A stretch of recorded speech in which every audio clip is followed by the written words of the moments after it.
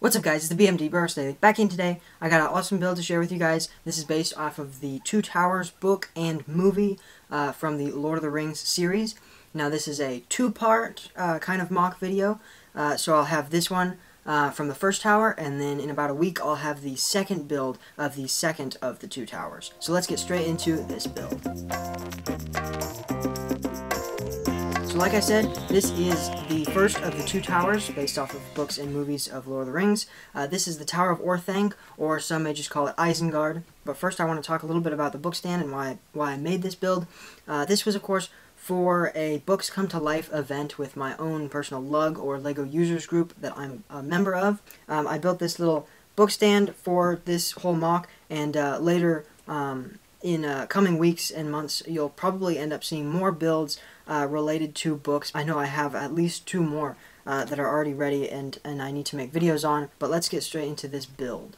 So, Isengard, or the Tower of Orthanc, this was a really fun build. Um, it, it was pretty simple, pretty small, didn't take too long. Um, I'm not sure if I ended up having help with someone else, but uh, I may have to shout out my friend Ben, who uh, um, I was working on this while he was working on something else, or we may have been collaborating. I can't remember. It was a couple months ago when I when I built this, but I do remember that it was uh, there were a few challenges uh, inside this build, and a couple of them were the trees and the kind of pathways and and uh, uh, exterior detail. Of course, the trees are, are pretty simple design. They're using the six-pronged um, flower bouquet pieces where you uh, you put two on either side of each other um, and then you put all the little green pieces around them to make a, a nice little rounded tree.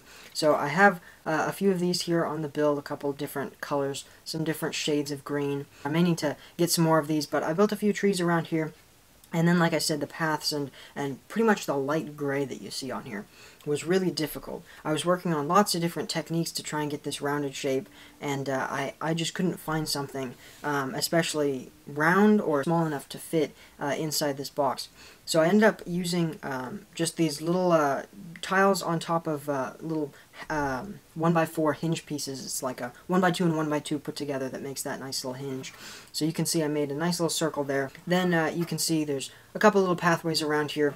Um, I believe in the actual movie, the tower may have been shifted about 45 degrees, um, and the uh, corners of the tower would be facing uh, each of the pathways. But I had to I had to do what I could there.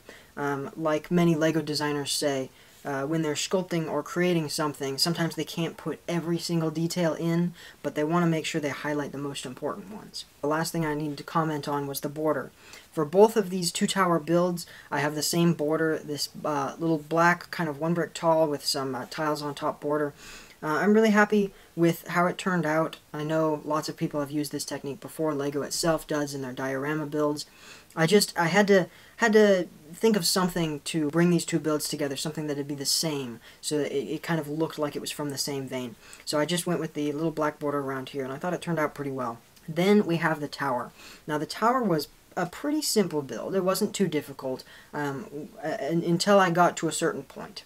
Now, speaking of points, the four points on the Tower of Orthanc are, are a very specific shape, which I'm not exactly sure if I recreated very well here. You'll have to tell me in the comments if you think it's it's uh, well designed. Um, but I, I did what I could. I used these 1x4 um, kind of sloped pieces to to get that shape kind of across, to get the four points across to people.